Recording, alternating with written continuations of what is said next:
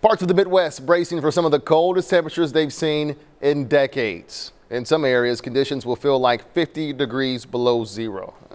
Health leaders, they want you to stay inside too, right? The Now KC's Mackenzie Nelson shows us what you can what can happen to your body if you don't.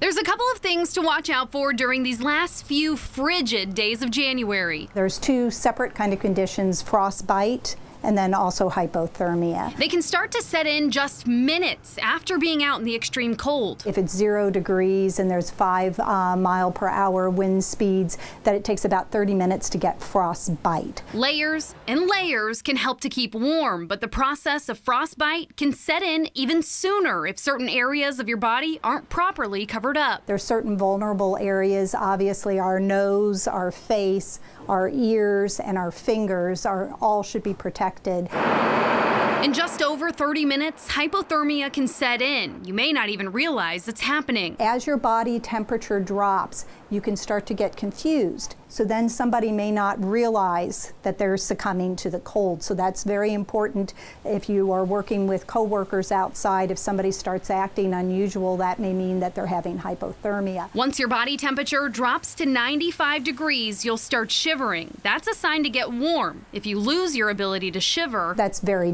dangerous. So that is somebody that would need to come to the emergency room. Many of us turn to hot drinks like coffee to warm up, but this week experts want us to put the coffee down, open up the fridge, and take one of these out. Caffeine is one of those things that can uh, act as a diuretic and make you actually more dehydrated. So staying away from caffeine, just um, some water and just staying hydrated well. If you're dehydrated, Sullivan says you'll feel the symptoms of cold much faster. The best advice doctors have is to stay inside if you don't have to be out. In Kansas City, Mackenzie Nelson for the Now KC.